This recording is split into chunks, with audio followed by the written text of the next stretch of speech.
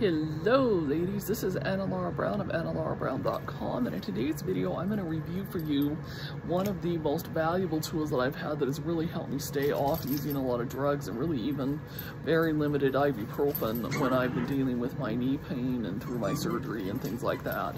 And it is this infrared knee wrap. And as you can see here it has a couple components to it. So to start with it has a plug, so it does have to be plugged into work. So that's one of the downsides to it. It has a plug and you have to turn it on and it takes about five minutes or so to heat up.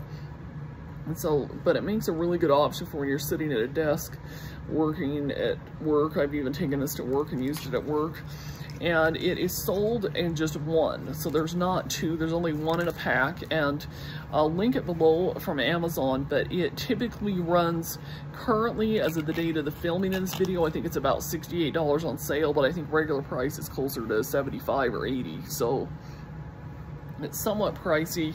I currently, like I said, only have one. I have not bought two. I just rotate between the knees. And as you can see, it has these little infrared discs in there that heat up and applies an infrared heat.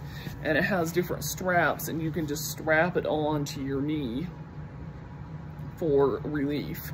And I find that I get pretty good relief from this after wearing it for about 30 to 60 minutes. So I typically will just, like I said, put it on one knee and then switch it over and do it on the other knee. And fortunately, after my surgery and my plasma injections, which I talk about in a different video, I have not had to use it as much.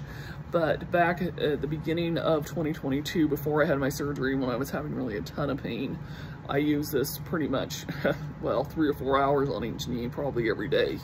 So it was just really, really invaluable. And Amazon sells lots of other infrared wraps for different parts of your body, including one that you can pretty much wrap almost your entire body.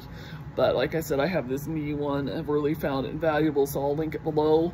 And hopefully you'll take a look at it, check it out. Really, really, I've enjoyed it and found it really helpful.